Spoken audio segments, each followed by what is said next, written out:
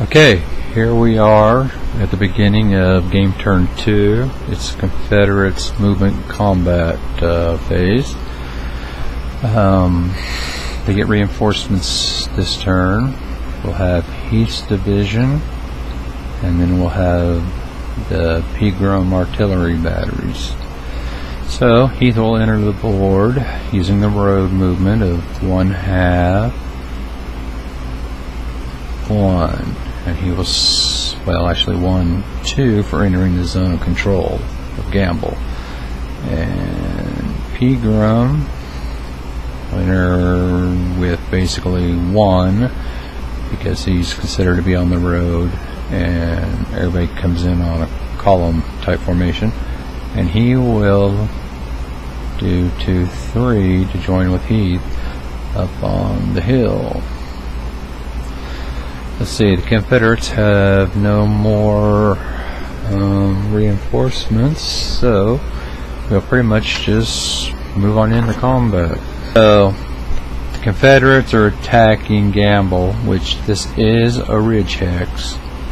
Um, it's verified in the main or the Gettysburg Battle Manual. Okay, so we have 5 and Pegram is 6, 7. So the Confederate, which I guess will use the red die, will have a plus 7, and the Union has a 1, and for the Hill, he will get another plus, plus 2. So, we'll roll the die. Confederates will add 7, they're the red die, and the Union will add 2. Well, let's see what happens here.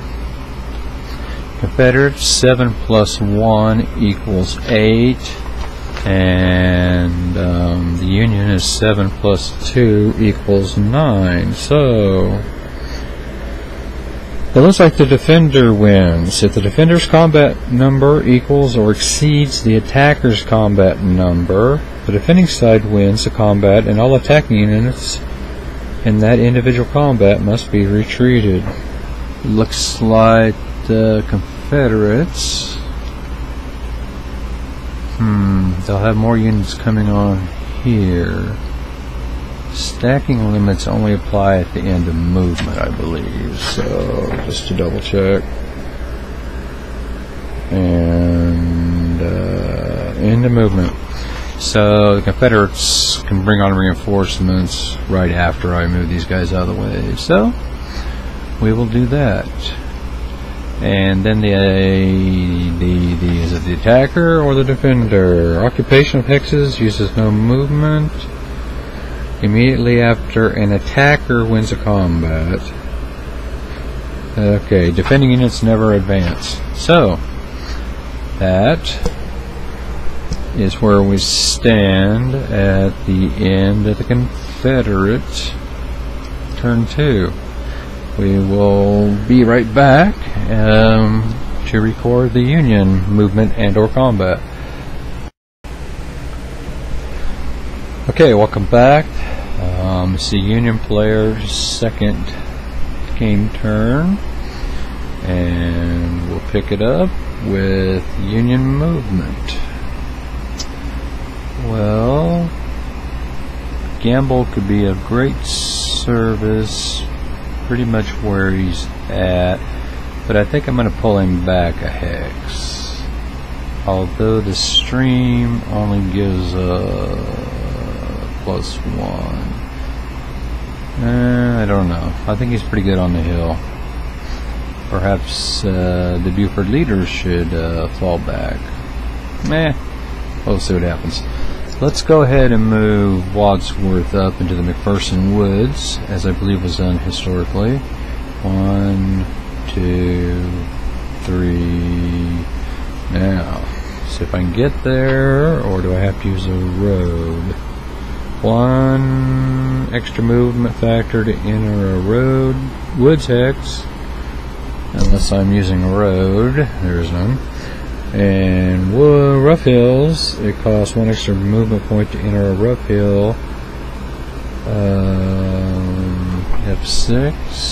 Uh, what is it? O, P1, P2, P3. P3 is not a rough hills. Um, no. Looks like it is a hill and it is a wood though. Uh, let's see. Oh yeah, general stacked with a unit gives that unit an extra movement point. Um, well, it looks like the round top is wooded, but it doesn't have the um, rough looking terrain. So I guess you could call it a hill and a wood. So to go up the hills plus one, go up the woods plus one, and we have Reynolds who would uh, increase his move point by one. So one, two, three, four, five. As it turns out, Reynolds is not needed to get him up there. Alright, I'm going to pause a minute and then we will bring on the Union reinforcements. Okay, here we go. Um, game turn 2, Union movement. We're going to bring on the Union reinforcements now. Um, we have Barlow. So, moving on the road, he can go 10 hexes. 1, 2, 3, 4, 5, 6, 7, 8, 9, 10. And everybody else, Robinson, he can come up here into the peach orchard. And Doubleday be marching smartly down the road behind him. Um, followed by Wainwright's artillery. And now I've probably moved them all out of the map, or out of the camera range. Uh, we'll see if we can't get that.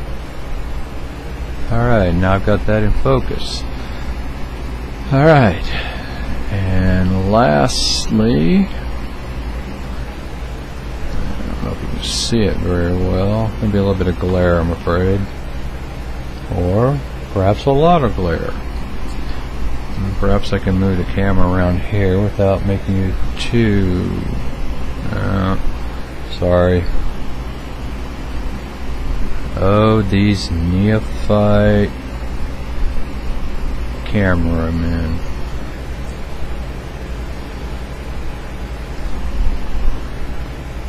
Alright, that should give you a fairly clear shot. Alright, so it looks like we have Howard's second corps uh, along with Schurz. So these two will get an extra movement point.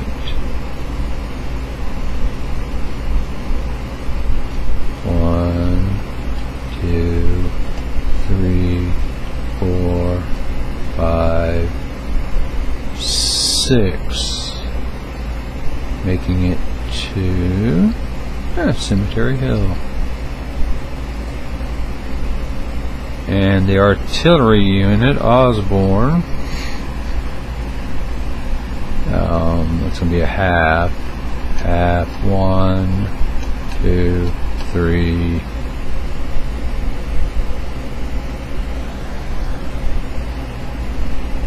four, five. And that's about as far as he can go. Um, yeah, I can see that this is still going to be a problem. I thought these little mini tripods, that's probably the biggest drawback.